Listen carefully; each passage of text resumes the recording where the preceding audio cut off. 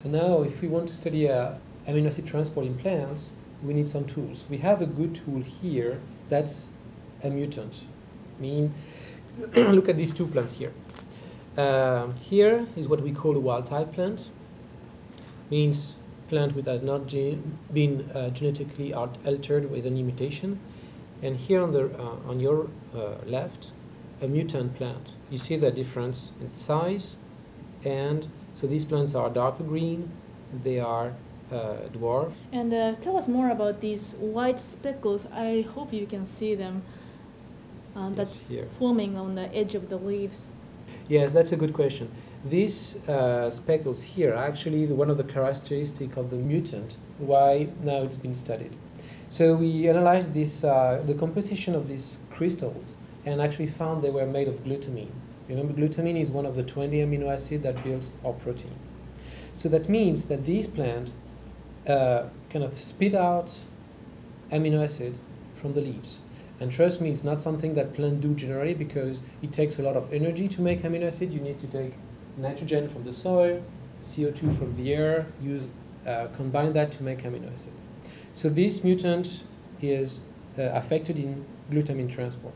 But to understand where it comes from, we need to uh, understand a bit better the structure of the plant. So this picture is the, um, is the leaf of Arabidopsis, where the vascular tissues are in brown here, and they end up at the rim of the leaf at the, in a structure called hydathode stain in blue on this photo. The next picture shows the hydathode's uh, cross section, so the same blue staining here of the cells.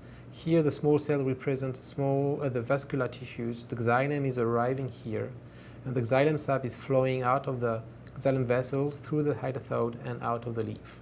So the glutamine is following the same path and crystallizing, drying out, out of the leaf. the xylem and the phloem of plants are similar to our blood vessels. So uh, you would be pretty sick if the composition of your blood is completely changed, especially if you have much more amino acid in the blood.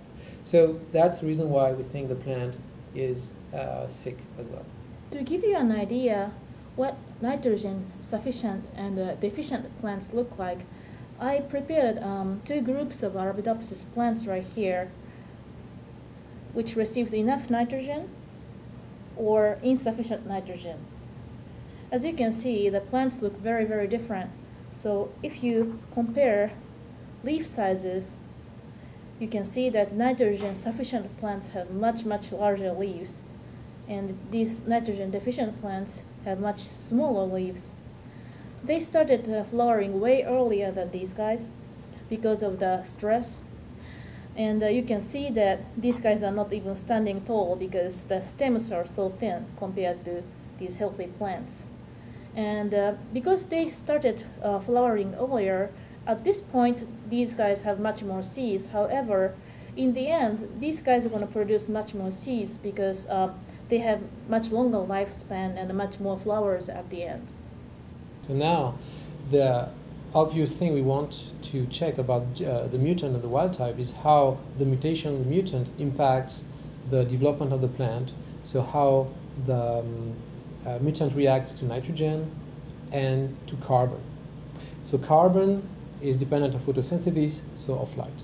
So the two obvious parameters to be changed are nitrogen supply and amount of light. So there is a large range to play with.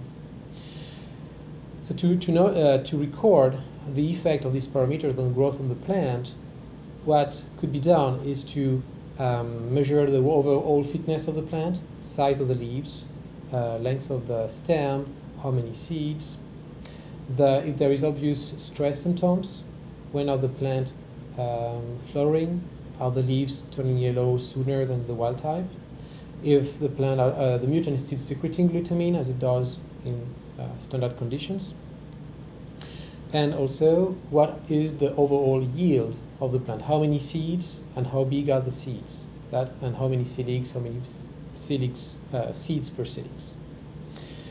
Um, eventually, uh, would be very interesting to have pictures of the plants all along the developments. So taking a picture every week or twice a week, depending on the age of the plant, would be uh, a very nice way to have in a just single page how the plant behave during the life. So just to recapitulate, uh, fitness of the plants, the size of the plant, how many uh, seeds, obvious uh, stresses, and glutamine secretion. In this case, um, we're, going, we're going to be asking you to test these plants with different nitrogen regime, nitrogen starved and nitrogen um, sufficient plant. And uh, yeah, what do you think will happen? Yeah, excellent question because at this level, even if we know quite a bit about the mutant, we're studying it for several years, we still don't know how it could behave when we modify the nitrogen supply to the plant. It could be that um, because we have the, the plant cannot regulate um, its nitrogen uptake depending on the supply uh, in the soil, the plant will be uh, severely hit by this treatment. It could also be that because there are still more amino acid transported to the seeds, the plant will survive very nice and the seeds will be fertile and uh, contain a lot of protein. It's still uh, an open question and that's where you come in play.